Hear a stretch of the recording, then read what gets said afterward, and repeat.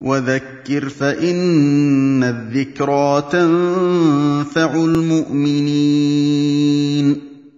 Le messager d'Allah sallallahu alayhi wa sallam a laissé sa communauté après lui sur une voie bien droite, rectiligne, bien claire, dont le jour et la nuit sont bien distincts. Ne peut s'en écarter que celui qui est voué à sa perte. Et il a fait que cette religion elle a été portée en héritage par les héritiers des prophètes qui sont les savants. Donc en premier lieu, les savants parmi les sahaba, Abu Bakr, Omar, Uthman, Ali, puis les abadila, les plus jeunes parmi les sahaba qui ont pris des grands sahaba qui étaient connus pour leur science, comme Abdullah ibn Abbas, comme Abdullah ibn Omar, comme Abdullah ibn Zubair, Abdullah ibn Amr ibn al-As, Abdullah ibn Mas'ud, pas parmi les jeunes, parmi les grands sahaba, qui, ont, qui a dit je jure par Allah qu'il n'y a pas un verset qui est descendu, qui est révélé, sans que je sache où il a été révélé et comment il a été révélé.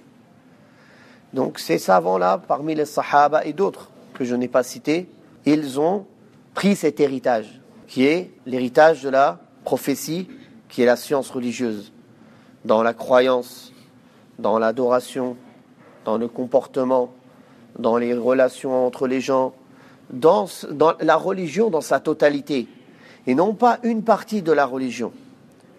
Et il n'y a pas en islam une partie qui doit être délaissée ou dire ah ouais mais euh, par exemple telle chose c'est pas important c'est que l'aspect extérieur ou telle chose c'est pas important c'est que des futilités.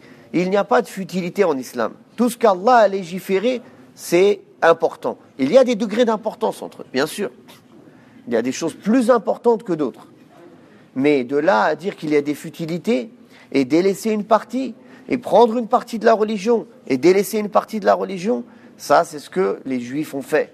Et c'est ce qu'Allah a critiqué, qu'ils prenaient une partie du livre et qu'ils délaissaient une partie du livre.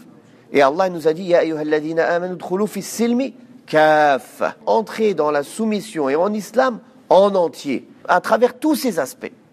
Et non pas seulement un aspect ou un autre aspect en en délaissant les autres aspects de l'islam. Donc, ils ont pris cet islam pur, comme il a été révélé par Allah à son messager comme son messager l'a enseigné, comme il a laissé dessus les sahaba anhum sur une voie rectiligne, bien claire, comme on distinguerait la nuit et le jour.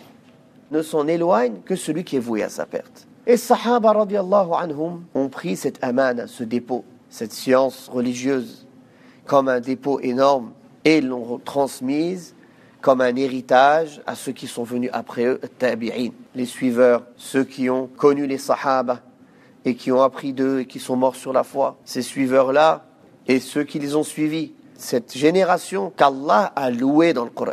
Il a loué les sahaba dans le Coran. Allah wa ta'ala dit, en parlant de ceux qui contreviennent à la voix du prophète sallallahu alayhi wa sallam, celui qui fait dissension d'avec le messager d'Allah après que la guidée lui a été exposée et qui suit un chemin autre que le chemin des croyants, nous le retournerons sur ses pas, puis nous le brûlerons en enfer et quelle mauvaise demeure. Dans ce verset, nous pouvons distinguer qu'Allah Ta'ala ne s'est pas suffi de citer seulement ceux qui contreviennent et qui font dissension d'avec la voix du prophète. Il n'a pas dit celui qui fait dissension d'avec le, messager d'Allah, on le retournera sur les pas et qui, suit un chemin autre que le chemin des croyants. Il a lié le chemin du prophète sallallahu alayhi wa sallam et déterminé et défini le chemin du prophète sallallahu alayhi wa sallam par quoi? Par le chemin des croyants. Sabilul mu'minin. Qui sont ces croyants dont Allah Ta'ala parle dans le Coran?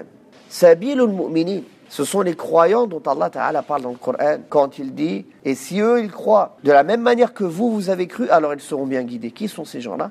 Les compagnons du prophète sallallahu. Les compagnons du prophète sallallahu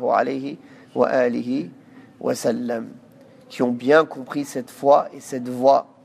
Donc ils l'ont transmise aux tabi'in et aux tabi'in. Et comme on a dit, Allah a loué cette génération. Puis le prophète sallallahu les a loués en disant les meilleurs gens sont ceux de mon siècle, puis ceux qui les suivent, puis ceux qui les suivent. Et après cela, il n'y a pas un siècle qui viendra sans être pire que l'autre, sans être pire que celui qui l'a précédé. Donc, ceux-là ont reçu l'attestation d'honorabilité et les louanges d'Allah subhanahu wa ta'ala dans le Coran en parlant des Sahaba et ceux qui les ont suivis. Comme Allah ta'ala dit, les premiers, les prédécesseurs, les précurseurs, parmi ceux qui ont fait l'égir et l'Ansar, ceux qui les ont assistés, puis ceux qui les ont suivis de la meilleure, avec perfection, Allah est satisfait d'eux, Allah les agrée, et eux ils agréent, ils sont satisfaits d'Allah subhanahu wa ta'ala.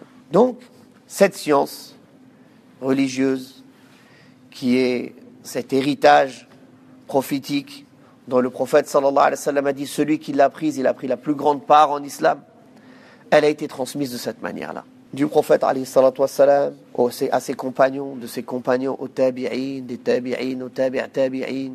Et comme ceci, c'est un héritage qui a été transmis des premiers jusqu'aux derniers. Des premiers, des, des prédécesseurs aux successeurs. Et c'est pour ça que c'est un héritage qui est arrivé jusqu'à nous aujourd'hui. Mais malheureusement, on n'y a pas donné son importance.